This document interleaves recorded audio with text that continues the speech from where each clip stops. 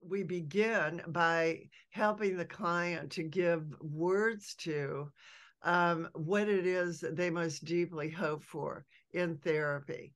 Um, we want to put the client in the driver's seat. We're not following our agenda, but theirs. And it could take more than one session uh, to get clarity about what people really want for themselves. A lot of shame around exposing that.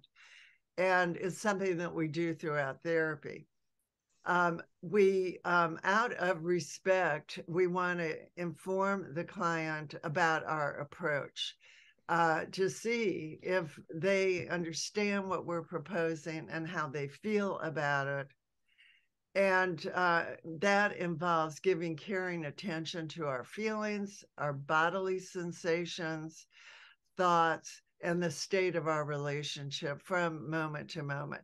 This is a wholly new way of relating for just about everyone I've ever had in my office. And a lot of people will feel anxious and uh, intimidated, and we do a lot of work to help them get beyond that.